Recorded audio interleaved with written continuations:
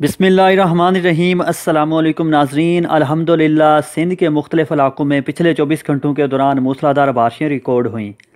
और इस वक्त भी सिंध के ज़्यादातर इलाके गहरे बादलों की लपेट में हैं, जबकि कहीं कहीं बारिश का सिलसिला भी जारी है। अब तक सबसे ज़्यादा बारिश जैकबाबाद में छत्तीस मिलीमीटर, जबकि रोहड़ी चौदह और मोहजोदड़ो में बारह मिलीमीटर बारिश रिकॉर्ड हो चुकी है। कराची समेत सिंध भर के रहने वाले तैयारी रखें आज शाम रात और कल 18 जून जुमा के रोज़। सिंध भर को गरज चमक तेज़ हवाओं और आंधियों के साथ बारिशों का एक और ताकतवर स्पेल असरानंदाज करेगा। इस दौरान बाज़ इलाकों में तूफ़ानी आंधी के साथ मूसलाधार बारिश और यालाबारी का इम्कान है, जबकि आज शाम रात और अठारह उन्नीस जून।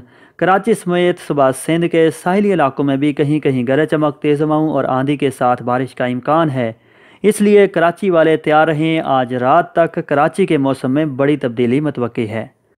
नाजरीन, सिंध के जिन शहरों में आज शाम रात और कल जुमा 18 जून के रोज़ बारिशों का इम्कान है तफसीत कुछ इस तरह से हैं।